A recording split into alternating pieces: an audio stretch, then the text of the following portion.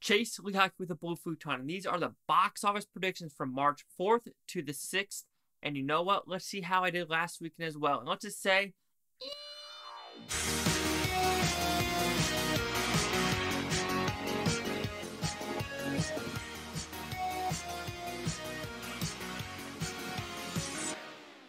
So, if all of you know, Batman is coming out this weekend, and there's no other movie coming out for the next couple of weeks, honestly. Like, The Unbreakable Boy got taken off the schedule, and other movies got taken off the schedule. So, I think there's only two movies coming out March 18th. So, you have a lot of time to see the Batman.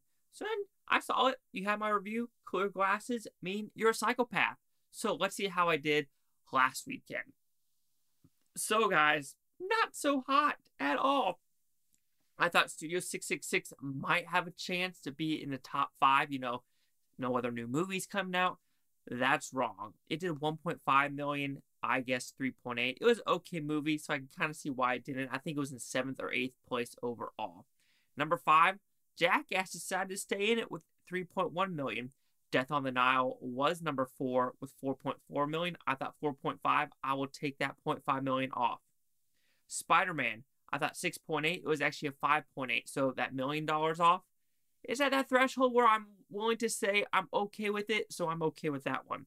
Dog, I was going to guess, I guess 9.7. It was actually 10.1. 0.4 off, will take it. And then Uncharted, I was guessing 25 million. It was actually 23 million. So about a 47% drop from last weekend. So it wasn't that bad. I was 2 million off in the price range, but we'll keep it as that. So, of course, Batman's coming out. Let's see what I think this week's top five is going to be. Number five, I'm going with Death on the Nile with 3.1 million. I think it's one of those movies where older people are slowly going back to the theater and slowly seeing this movie because it is one of the movies more for the older crowd, and I think it's starting to do the slower drops. Number four, we're going with Spider Man with 4.1. With Batman coming in, I do think it might have a little bit of a drop because it's very slow drops, but I think this one will be kind of a significant drop. So I'm going with around a 4.1 million total, but it is still very hot to see. Number three, I'm going with Dog with 6.9 million. Again, with these Batman movies, I do think a lot of these have a little bit steeper drops, but Dog is also one of those movies where older crowds can see it as well. So who knows? Number two, Uncharted. I'm going with a pretty over 50% drop with this one going 12.4. Batman, I think, is going to take a lot of the Uncharted crowd. 12.4, but I wouldn't be surprised if it gets below 10 million.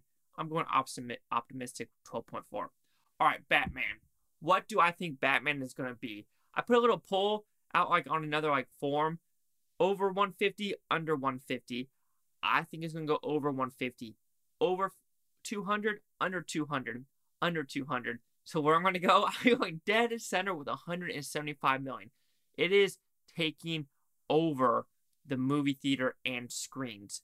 The theater next to me, I think it has 12 to 15, no, 16 screens, including IMAX.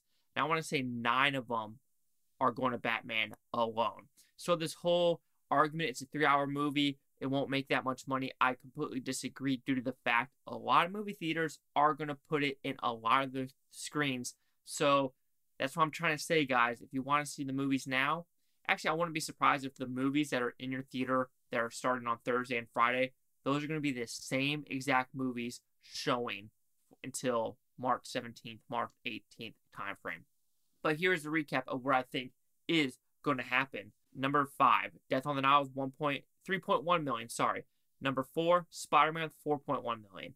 Number three, Dog with 6.9 million. Number two, Uncharted with 12.4 million, and the Batman I'm going with 175 million flat. If it gets above 200, I'll give it a goddamn round of applause. And with the Batman, like I said, I gave it a good 7 out of 10 movie. I would probably give it more like a 7.5 percentage with 5 scale. I'll put it down a notch. But the more I think about the movie, the more I do enjoy it. And I think it's funny where people like kind of get mad at you because I'm like, oh yeah, 7.5. It's a good movie. There are some nitpicks to it. Long, Catwoman, I wasn't fan with her dialogue. Some of the stuff here and there. Love Paul Dano. It's not Dano, it's Dano. And other things like Robert Pattinson. I didn't like how Bruce Wayne and Robert and Batman were kind of the same character. But the more I think about it, the more I do research, that's what they kind of wanted to do. And if they do a second one of this iteration, I hope they kind of expand that range. Because if you look at Robert Pattinson's IMDb, he is the doom and gloom kind of casting for that role. So overall, maybe he'll go up to 8, 8.5. I don't see me going to the 9 at all. I said maybe with the second or third viewing. Now I'm just talking about Batman. Anyway, what do you think? Am I wrong? Chase Lee with the Blue Futon. Like, comment, subscribe. Let me know what you think about Blue Topia. You Blue Tonians. Thanks for watching. Have a great day. And seriously, means the world.